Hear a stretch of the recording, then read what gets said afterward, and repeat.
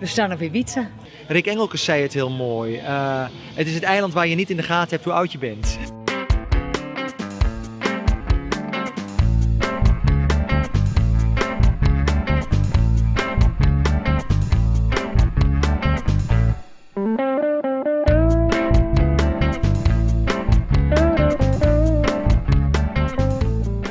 Verliefd op Ibiza is een hele komische kijk op uh, hoe relaties in elkaar kunnen steken en hoe iedereen op dit eiland eigenlijk bang is om ouder te worden.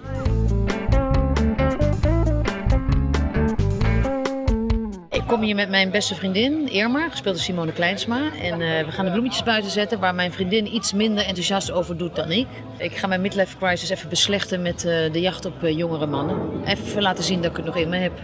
Maar dat gaat niet helemaal zoals ik wil.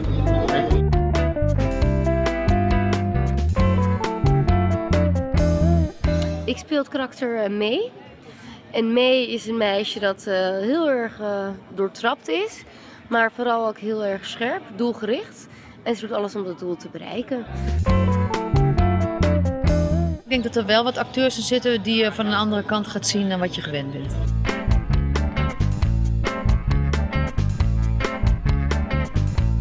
Ik hou ervan om heel veel verschillende dingen te doen in mijn leven. Dus ook? Dus ook gewoon een grote commerciële, gezellige film. Het is ook mijn eerste film. Maar ik heb natuurlijk voor Johan drie jaar lang voetbalvrouwen gedaan. Hè? Dus uh, dat is dan wel een serie. Maar uh, uh, in principe maakt dat niet zo heel veel uit. Ik speel eigenlijk vaak op televisie onzekere, oncharmante meisjes. En dan nu eindelijk een man. Nu mag, nu mag ik eindelijk in mijn leven een leuk, het leuke meisje spelen. Met twee rotszussen.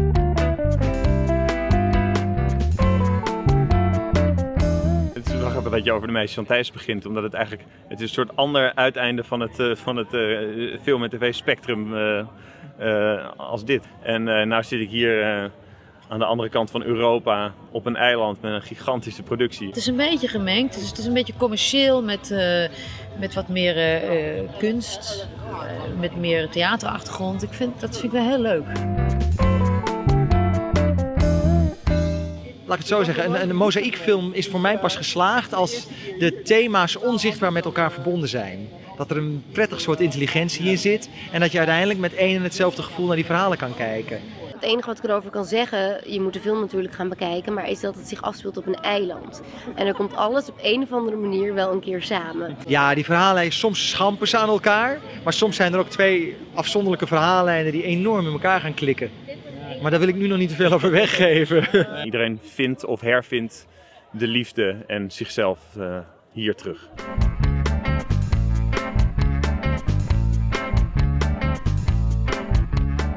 Ik denk dat dit ook zo'n leuke, happy, feel-good film is. En uh, ja, ik denk dat het een hele leuke cast is. En uh, liefde, daar draait het toch allemaal om. Maar voor sommige mensen is het geluk pas uh, in handen als ze eindelijk hun eigen leeftijd kunnen zijn.